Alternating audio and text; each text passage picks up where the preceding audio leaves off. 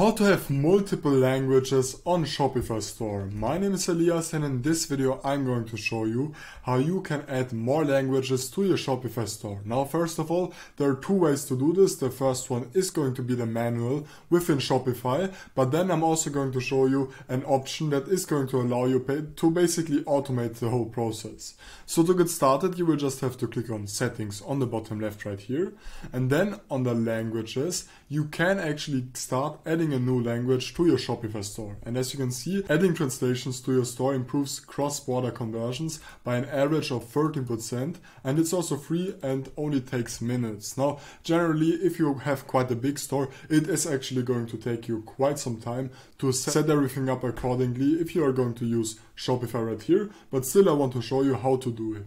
Now to get started, just click on add a language right here.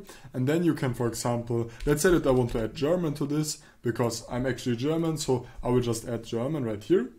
And then we can actually get started translating everything. So we can translate right here. And then we will basically have this menu right here where you can then translate everything the way you want to. As you can see, you will have to localize everything, then you will have to translate everything, and then you can also customize it for different markets and so on. So, so right here, for example, you will have the title clothing, and then you would have to change it to German, which in this case would actually be Kleidung, which you would just, now obviously you would just have to use Google Translate for this, or you could actually also get a professional to do this for you. But generally with Shopify, it is actually going to take you quite some time until everything is accordingly done. However, they've recently also added this auto translate feature right here.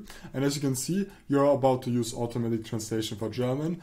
This will be the first of your two free languages. After German, you can auto translate one more language. So I will just click translate right here. And as you can see, now they've also uploaded this.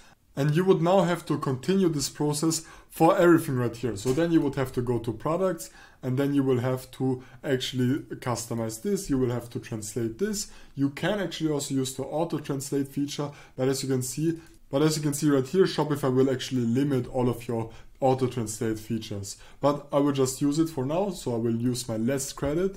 And then we, as you can see, Shopify is actually going to translate this site into German.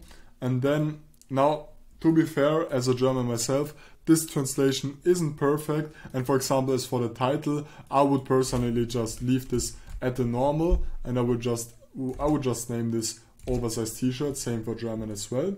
But other than that, it looks pretty good in my in my opinion. And if we're now going to save this and then view in store, we can actually see that on the bottom, on the bottom right here, we can change the language to German. And if we're now going to go onto the t-shirt, which we've just uh, customized and translate, we can see that this is actually German.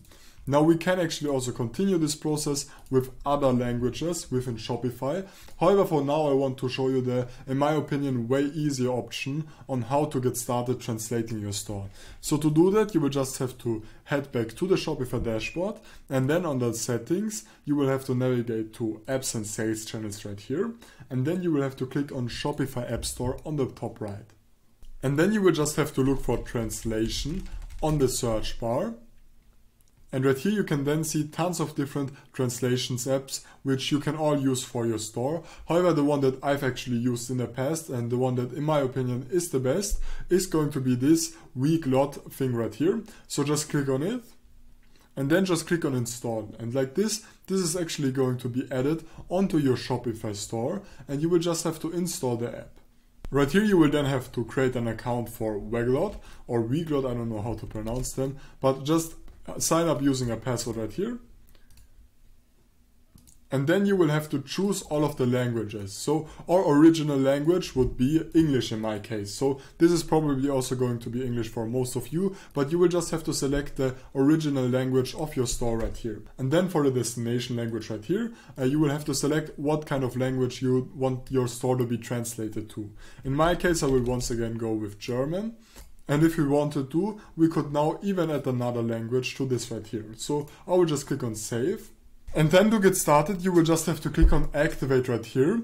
And then on the left right here, we will have to make sure that this is turned on. So I will just click on check the activation right here as it's successfully turned on right here. And then we will have to wait for one to two seconds and then we can just continue this process right here. And as you can see, now it is basically done and your website is multilingual. So uh, it basically will save you a lot of time to actually get started using Weglot right here. And as you can see, visit your website and try the language button at the bottom right of your website. So I will just head over to the editor and on the bottom right right here, we can then actually select what kind of language we want to change our website to. In my case, I will just change it to German and now everything is successfully updated automatically. However, we're still not done yet. Let me show you how to actually customize this right here. So to do that, you will just have to click on go to settings page and then we can actually activate everything. So as you can see right here, we can actually first of all edit all of our translations if we want to by clicking on the top left right here. And then we will basically have to log in onto our Weglot account or Weglot Mm, and then once we're signed in, we can actually get started editing our translations. So to do that, just click on manage translations right here. And then we can get started editing anything if something is not translated the right way. However, generally, once again, Weglot does a pretty good job in my opinion when customizing everything. Now we can also manage our translations using the visual editor. So just click on manage translations right here, then click on visual editor and now we can get started editing anything and basically like this it is a little bit more easier to get started with. Let's say if you only want to edit one kind of certain element of your website, let's say this thing right here, then it is basically easier to do that with the visual editor. Now with Weglot you will basically get tons of different customization options. However, there is still one feature which I would like to touch on. So just head over to merge translations right here and then on the left on the language switcher, we can actually get started. We can actually get started customizing our language switcher. So we'll just open the switcher editor right here and then we can easily just edit anything the way we want to. We can first of all change the switcher position if we want to. However, we would actually have to do that with CSS.